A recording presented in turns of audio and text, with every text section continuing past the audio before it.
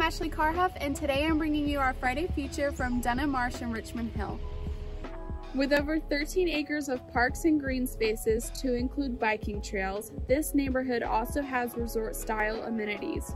They have a clubhouse, a large beach entry saltwater pool, a fitness center with organized classes, a playground, and a professionally decorated members room which can be reserved for private parties.